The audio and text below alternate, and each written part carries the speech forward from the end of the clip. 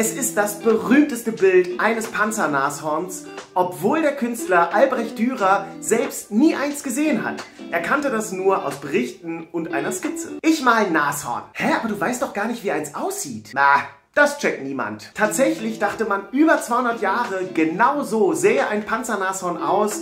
Dabei ist vieles nicht korrekt.